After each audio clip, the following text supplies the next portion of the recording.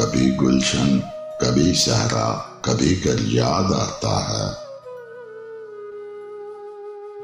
कभी गुलशन, कभी सहरा, कभी कर याद आता है।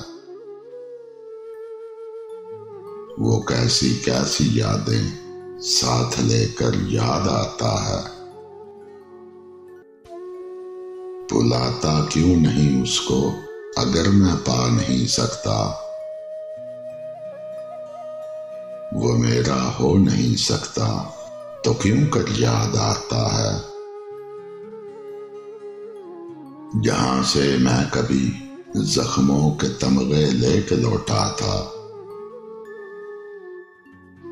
मुझे उस शहर का एक एक पत्थर याद आता है।